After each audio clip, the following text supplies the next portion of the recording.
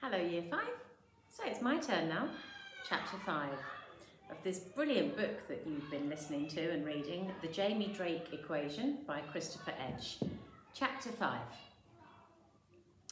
I walk slowly up the stairs that hug the curving wall, my eyes straining against the gloom that lurks inside the observatory. The concrete steps leading up to the next level are coated with pigeon droppings and I have to pick my path carefully to make sure I don't slip. It's cold in here, but despite the chill, I can feel a bead of sweat sliding down my face as the barrel of the shotgun pressed into my back pushes me forward again.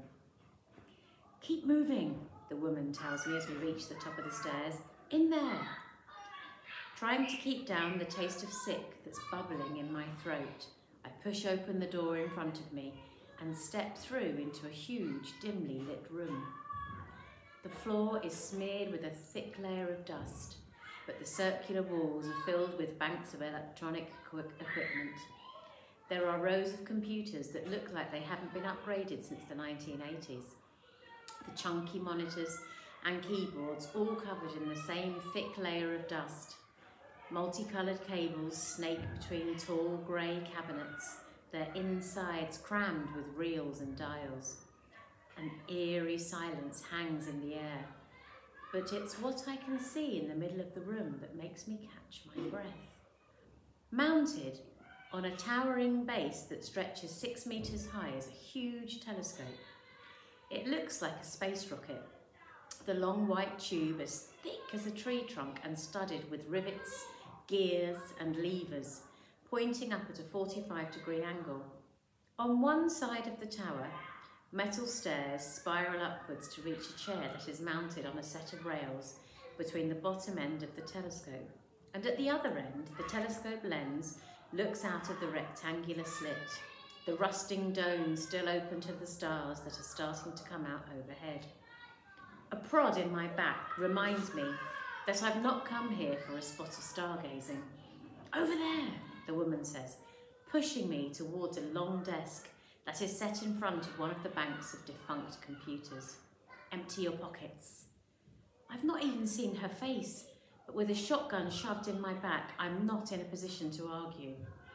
Reaching into my pockets, I empty them out onto the table in front of me. My house keys, a packet of Star Mix, my revision worksheet, and the £20 note that Mum gave me. Everything she growls.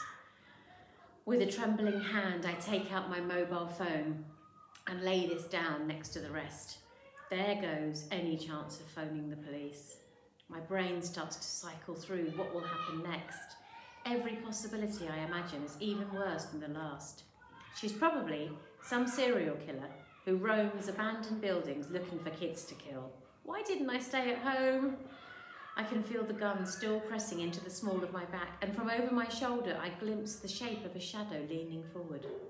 I hear a click and almost jump out of my skin, waiting for my life to flash before my eyes. But instead of a shot, I see the lamp on the, desk, on the desk flicker into life. Sit down, she tells me, the strange shadow of her shotgun pointing to the chair on the other side of the desk. I sit down. The desk lamp is shining straight into my face, almost blinding me. What are you doing sneaking around here? I squint up at my questioner, trying to see past the blotches forming in front of my eyes.